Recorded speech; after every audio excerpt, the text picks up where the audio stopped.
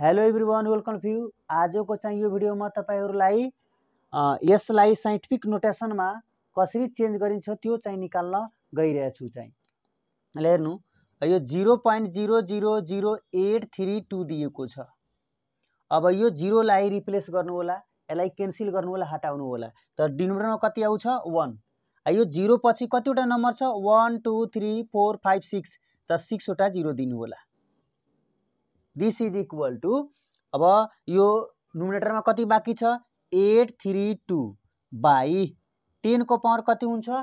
Six हुन्छ। किनभने तल कतिवटा जिरो छ? वानमाथि कतिवटा जिरो छ? One two three four five six त टेनको पावर कति हुन्छ? Six this is equal to eight three two multiply यो टेनको पावर सिक्स जुन छ डिभाइडमा छ त यो डिभाइडबाट जब मल्टिप्लाईमा चेन्ज हुन्छ भने टेनको पावर हुन्छ माइनस सिक्स अब यो डिभाइडमा छ डिभाइडबाट चाहिँ मल्टिप्लाईमा चेन्ज गर्नुहुन्छ भने यसको पावर यदि प्लसमा छ त माइनसमा हुन्छ माइनसमा छ भने प्लसमा हुन्छ चाहिँ। त्यही यहाँ चाहिँ हेर्नु त टेनको पावर कति छ?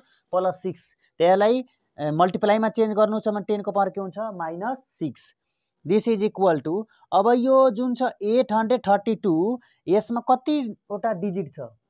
यो कतिवटा डिजिट छ? वान टू थ्री कतिवटासम्म नम्बर छ? तिनवटा नम्बर छ। त तिनवटा नम्बर छ भने यसमा एउटा वान र डबल जिरोले डिभाइड गर्नु होला।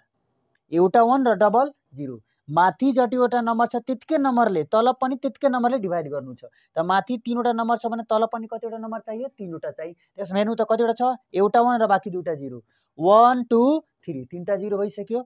जतिले डिभाइड गर्नुहुन्छ भने त्यतिकैले के गर्नुपर्छ? मल्टिप्लाई यदि थाउजन्डले डिभाइड गर्नु छ भने थाउजन्डले मल्टिप्लाई हन्ड्रेडले डिभाइड गर्नु छ हन्ड्रेडले मल्टिप्लाई यदि टेनले डिभाइड गर्नु भने टेनले मल्टिप्लाई गर्नुपर्छ. अब मल्टिप्लाई टेनको power minus six this is equal to अब हेर्नु त तल कतिवटा जिरो छ? दुईवटा. त्यो दुईवटा नम्बर छोडेर एउटा टू अर्को थ्री दुईवटा नम्बर छोडेर यहाँ पोइन्ट दिनु होला एट लेख्नु होला एट दिसमल कति हुन्छ? Three two eight point three two multiply टेनको पावर कति हुन्छ? टू किनभने यहाँ कतिवटा जिरो छ हेरिराख्नु भएको छ? हन्ड्रेडमा कतिवटा जिरो छ? दुईवटा त टेनको पावर टू लेख्नु होला चाहिँ। मल्टिप्लाई टेनको पावर कति हुन्छ? Minus six this is equal to eight point three two multiply अब यहाँ बेस सेम भयो पावरलाई के गरिन्छ? एड अवर सब्टे गरिन्छ। बेस सेम छ टेन टेन सेम छ। त पावरलाई के गर्नु होला?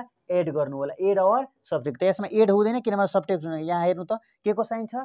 माइनसको त्यही भएर यसमा सब्टे गर्नु होला। त टेनको पावर हुन्छ two minus six this is equal to eight point three two multiply टेनको पावर अब कति हुन्छ?